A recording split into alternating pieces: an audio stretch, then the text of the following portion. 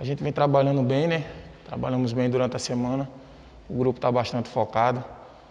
Né? A gente sabe que vai ser um jogo difícil, mas a gente está preparado. Né? E o nosso maior foco vai ser o CSA para a gente chegar lá e fazer um bom jogo. E se Deus quiser, a gente conseguir um resultado positivo. Jogo treino a gente sabe que é natural os erros acontecer, né?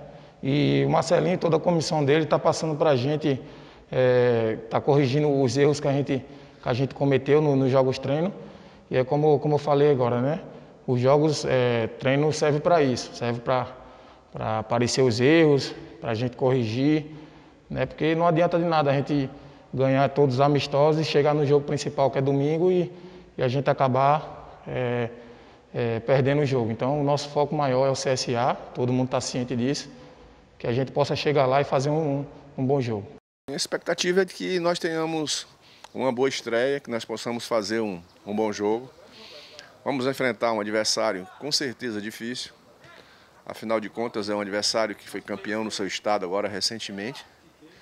Mas o Botafogo, é, jogando em casa, vai procurar ditar o, o ritmo do jogo em busca do, do resultado positivo transpor essa dificuldade, transformar isso aí e, se Deus quiser, num bom resultado. O time do, do 4 de julho, a gente teve, tem acesso hoje na internet, assim como eles devem ter tido acesso aos nossos jogos, nós tivemos acesso aos jogos dele.